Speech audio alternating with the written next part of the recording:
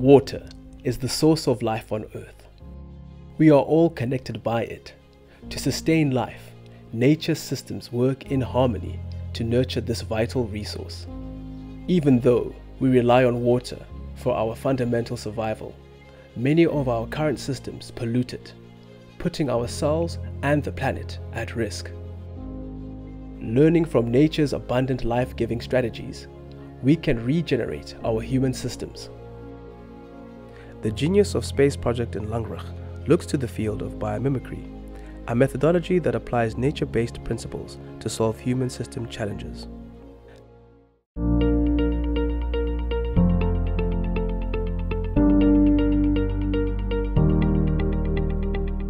The Langrug Informal Settlement was chosen um, specifically because of the existing work that had already been done within the community Part of the vision is definitely to assist with the upgrading and development of informal settlements. We don't want to have this kind of situation perpetuating forever.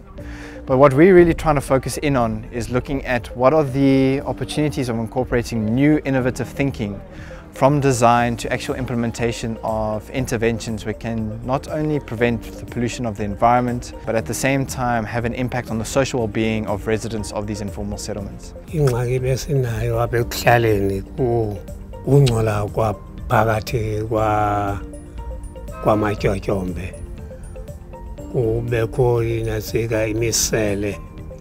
sabomba le misele le iza nokungcola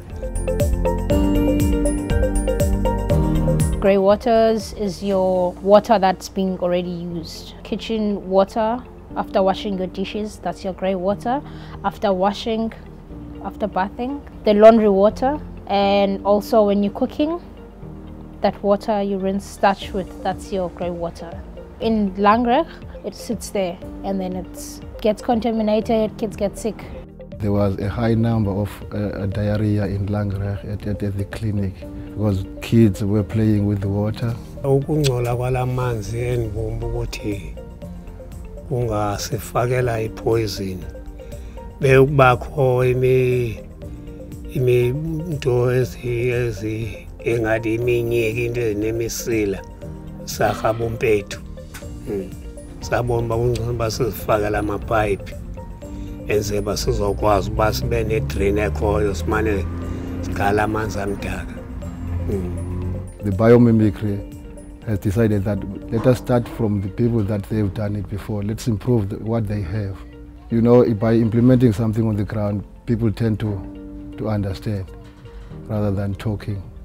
What we're doing is looking at how can we engineer that a little bit more to have the same sort of a disposal point, it's called, which is a large sort of plastic drum that has a set of filters made from sponge-like material and shade cloth that the engineers have been looking at so that people can still empty their, their home wastewater but it actually gets filtered and the first sediments are trapped. That water goes through a pipe. We use, work with gravity so there's no pumps involved.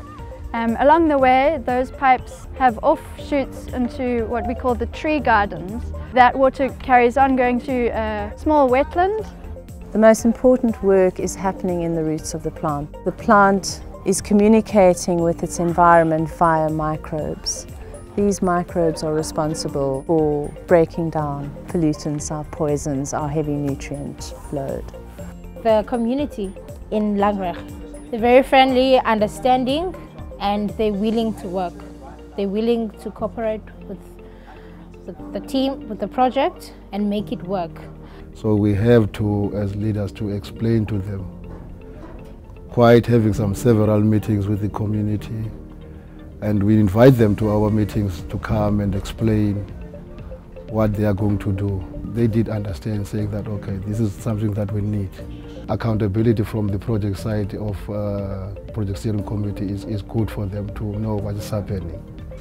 The Genius of Space project is implementing innovative and holistic solutions to not only address water, waste, and environmental challenges, but also to create socio-economic opportunities. The project sets out to create a new model for regenerative development, integrated design thinking, and community co-managed infrastructure.